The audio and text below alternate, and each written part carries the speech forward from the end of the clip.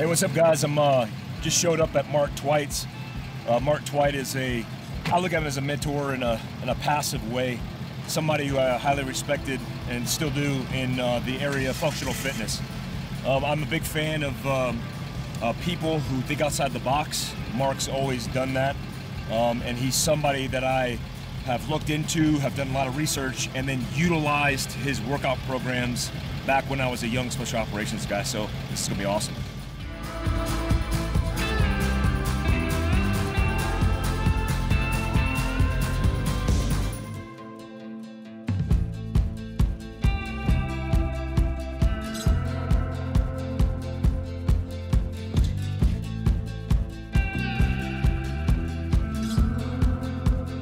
How's it going, sir? How are you? Pleasure to meet you. Pleasure, pleasure, to meet you. Welcome. Yeah, it's an honor. Yeah. Right. This is the the shop, huh? Yeah, more or less. I like it. I like it. Very inconspicuous. So what is it? What is the stuff that you're starting now? Is it a new name or it's always been? No, it's like we, Michael and I kind of started this project. It would have been in like 20, late 2017. Just decided, okay, I'm not doing these movie gigs anymore. Um, The last job I did, I realized, man, I'm, I've learned as much as I'm going to learn. I'm only here for the paycheck. Yeah. I don't want that to be me. Yeah. Michael said, aren't you, we met for coffee one day, he said, aren't you really pissed of all these people that are taking credit for your work? You should write a book about all that movie training and stuff and set the record straight. And I was just like, yeah, we should do that. And he said, no, no, no, I meant you. And I said, mother. Yeah, this you need is- to help me. Yeah, this is, this is how this is going to happen. Yeah. Are you still training people? We launched this uh, subscription model. Yep. He said, all right, it's going to, you know, for this first beta period is three months long. We opened it a 24 hour window that you could buy into because we, we thought, uh, fucking, if we get 100 people, it'll be fine. And we had, what, 478 people sign up in 24 hours Wow. at the 19.99 a month threshold. And it's an online. It's like a virtual Yeah. online thing. Yeah. I spent some time with the Texas Rangers in, uh, in their spring training camp, and I was very much in shock when I looked at their daily fitness routine of like not doing really anything. Like they show up and they, they do this, and I'm like, wait, these are professional athletes? And then I realized that the game wasn't making them look like something they wanted to be. It was the longevity of a 20 year Yes. contract worth $95 million, and these guys needed to sustain that for Yes. 20 years. Um, and then, like, even when I was a team sergeant and I had a team of snipers, like, I- started looking at fitness differently because I went, well, your job is to be fit in the role uh, of running around with kit and then doing whatever is required of you uh, during that rotation. Yeah. And so they would be like, well, what are we doing for PT today? I'm like, run to the run to the range in all your kit that you're going to shoot with, and then shoot for four hours, and then run back. And they're like, that's like a 12 mile run. Like, well, that's what you're going to do. Oh crap. I mean, you asked. yeah, yeah. Like, mean, you better- what do you mean we're not going to do chests and tries or back and body? We're not going to like no. That I, I don't want you to aesthetically look good for your wife. I want you to be a good operator and to function well. And I'm like, man, the way we look at fitness, which is mostly anabolic as a market, uh, it, it, where everybody's just like drink this protein powder because it's going to make you look like you're on a thousand milligrams of anabolic steroids. Well, that's what it is. That whole thing is a big lie. It's just so bizarre to me. Oh, I mean, our whole thing here has been like our hashtag is fitness is fucked.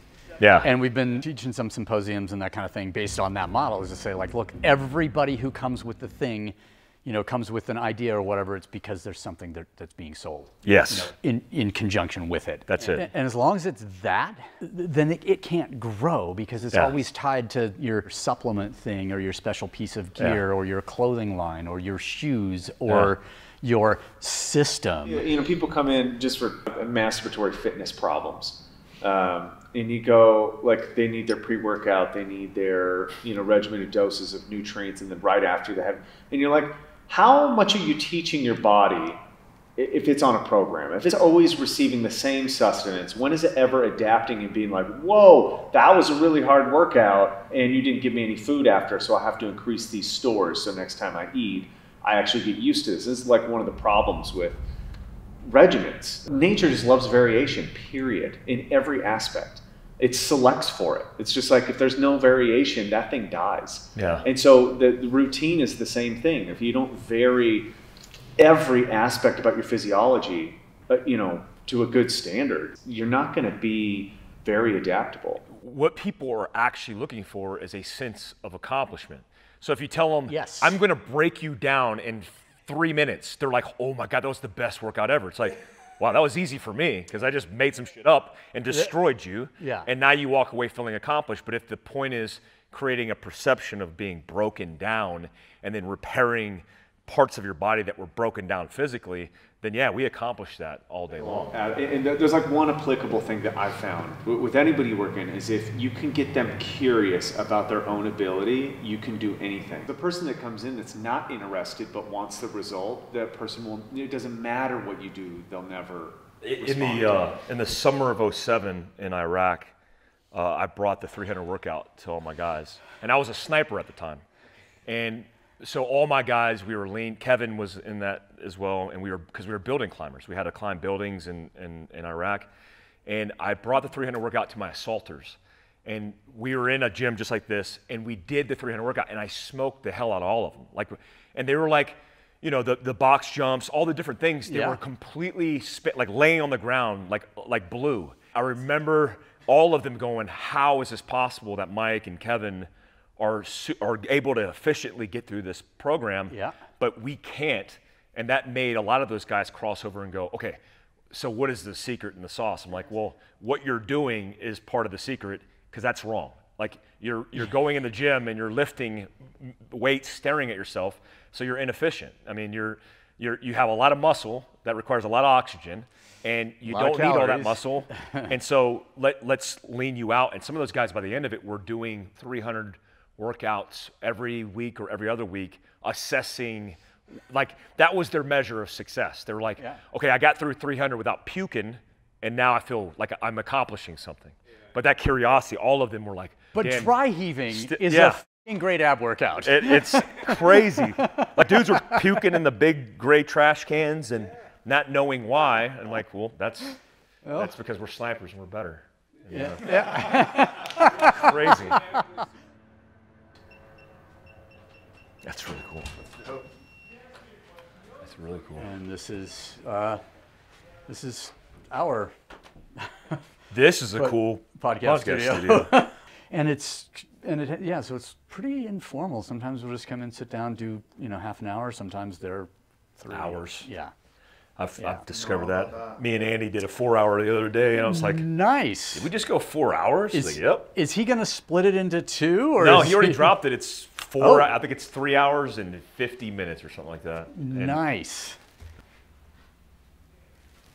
Wow. Um, from about 17,000 feet on McKinley looking at Mount Hunter.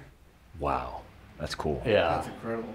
Yeah, this was actually a job I had guys with Dam from Dam Neck with me on this trip. Were you on oxygen on that? Oh, no. Oh, really? Hell no. I mean, it's like, that's cheating in a way. I mean, it's like, hey, you go to the natural environment to test yourself against the natural environment, then why would you bring the thing that manipulates it? You always been into photography? Is that? It was something I kind of had to do to support climbing. Yeah. in a way of like if I'm writing articles, then you have to have the photography to support it. Yeah.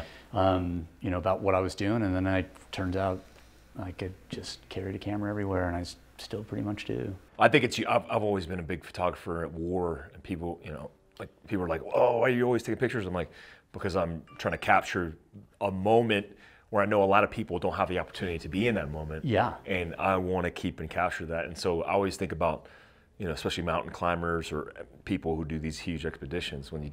Like only a few people in the world can catch something like that. Yeah. Who actually have the photography skills, but who have the access and place to get to the place. to get to that place.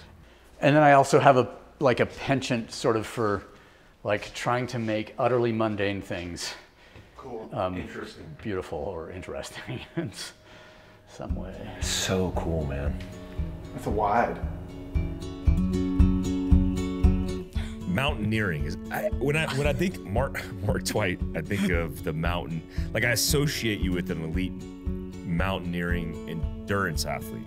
That's like the initial thing that pops in my head. Is that where it began? Is that is that like where your journey in in all this started? I mean, if if we don't want to discuss, you know, childhood truancy and problems with authority and sh- like that, yeah, I started with climbing. Yeah. Which was kind of at the time, like I started climbing in like 1980. I think I knew it was going to happen. Spent the, you know, most of was born in Yosemite National Park, lived there for two years, then Mount Rainier National Park for three years because my dad was a uh, National Park Service ranger. You were actually And- born in the park. Yeah, I was born in the park. I was born in the clinic. Yeah, Really? Yeah, clinic baby. That is awesome. That's actually really cool.